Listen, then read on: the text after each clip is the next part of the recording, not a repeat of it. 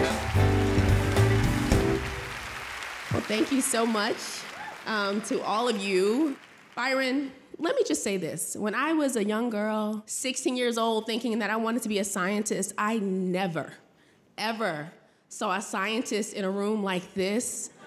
And honestly, I hope that moments like this will inspire other young girls to become scientists. It's not all glitz and glam, but it's fun.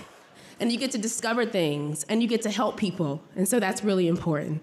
So, aside from you, Byron,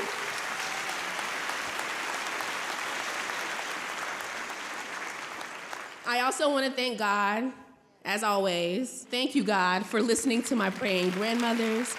Thank you to my husband, my man, my man, my man, for supporting me through the ups and downs of the vaccine response, for sticking it out with me so we, that we can be here.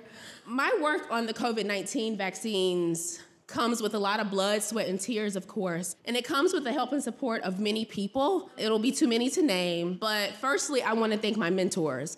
My first mentor, Dr. Albert Russell, was a black man. And when I walked in that lab when I was 16, I saw myself.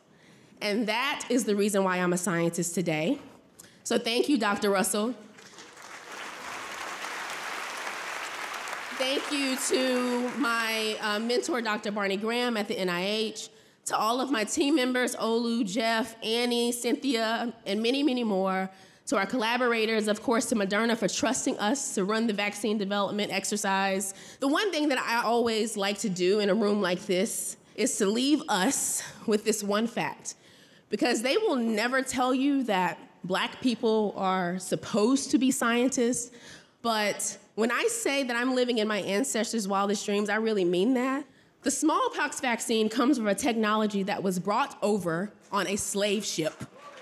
Onesimus was an enslaved man in Boston, and that is the reason why the smallpox vaccine existed.